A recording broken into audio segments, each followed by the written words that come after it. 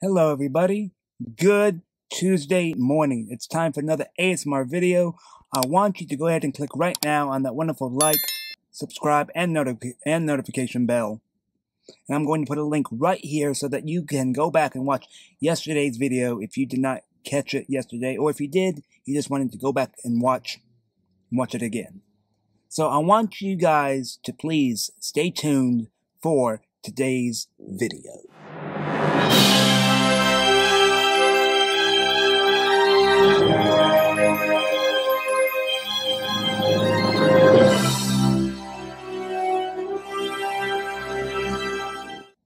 Hello everybody, welcome back to today's video. Today's title, today's ASMR title is Six Lies Anxiety Makes You Believe. The six lies and, and anxiety makes you believe. Anxiety affects everybody. And it doesn't matter whether you're male or female. By the way, those are the only two genders, male and female. And it doesn't matter where you're from, whether you're from America, Canada, Africa, Asia, Europe. And it doesn't matter what color of your skin you are.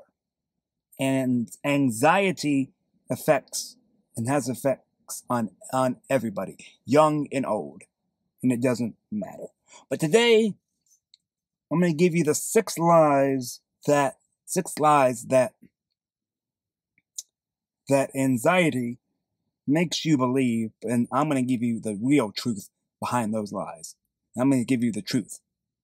The first lie is this, is this, number one, that you're not good enough or not worthy. That's a lie. You are good enough to get through whatever you are going through. You know, friends say, oh, he's not going to amount to anything because because he's not good enough. Or you're not worthy of wearing the coat and tie. You're not worthy of being the CEO because you don't have enough experience. You don't have enough this or that. That's a lie. If you work hard enough, you are going to be good enough. And you are going to be worthy of taking the next step in whatever it is, whether it is in a leadership role position, which we talked about yesterday, or just being the best that you can be. Number two. The second lie is this that you're going to fail in whatever you do. You know, everybody fails at something in their life. I've failed at certain things in life. You have failed at certain things in life. Thomas Edison, you know what? He failed 2,000 times before he found the right, the right, the right filament in the light bulb. He said, well, now I know 2,000 ways not to make a light bulb. And, and let me say this to you. It's okay to fail. It's okay to fail. Because once you fail, you take all the stuff that you've learned from your failure and you've built and you can build on it.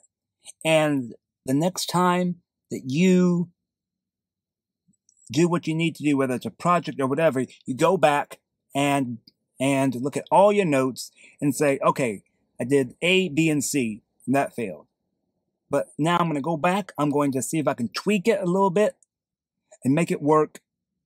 And then hopefully the results will be a better outcome, right? So let me let me so let me say this to you, okay? It's okay to fail. It's okay to fail. I failed. You have failed. It's okay to fail because because from failure comes success. If you didn't because when you fail, you just tell yourself, hey, I had a little mishap. I'm going to brush it off my shoulders. I'm going to square my shoulders and say, okay, this didn't work. Plan A or B didn't work. Now I'm going to go to plan C.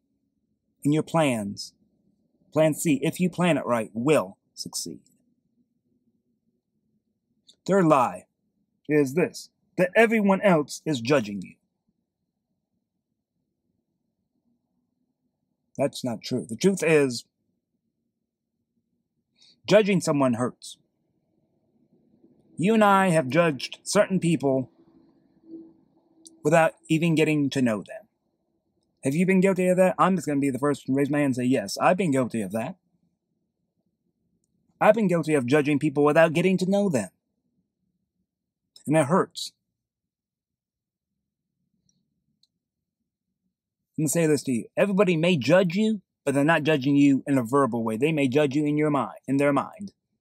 They might, they might look at you and say, in their mind now.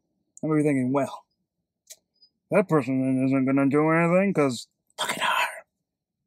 She doesn't smell very good. She ain't never going to get a man. Or whatever.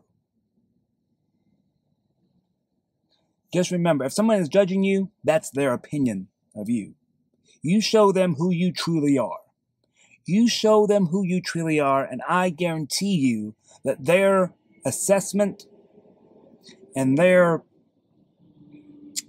way of thinking about you in general will change completely. Number four, the fourth lie is this that you don't deserve good things. You do deserve good things. We all deserve good things. Now, physically, Yes. Now I'm going to talk about this just for a second. Spiritually, we don't deserve anything. We all deserve hell and separation from God. But God came down and he gave his life for us.